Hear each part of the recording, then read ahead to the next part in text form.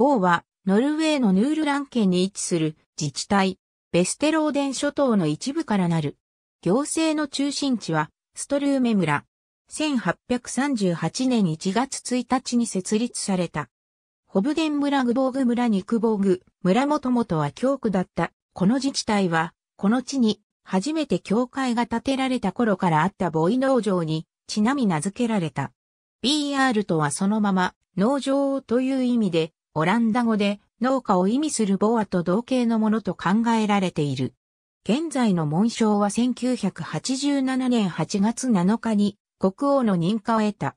黒地に銀色で小舟が半分だけ描かれている。北欧神話に登場する海の幽霊、ドラウガーはこのような小舟で移動すると言われている。人口は近年じりじりと減ってきている。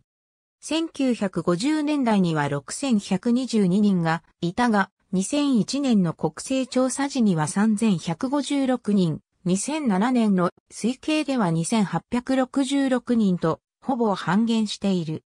ノルウェー統計局は今後も人口減少は続くと見ている。域内で最も人口が多く人口密度が高いのは692人が住んでいる。ビニエ、スカーゲン、ステイネの一帯で、統計局から人口の集積地に指定された。一方、行政の中心地であるストローメ村には289人しか住んでいない。ありがとうございます。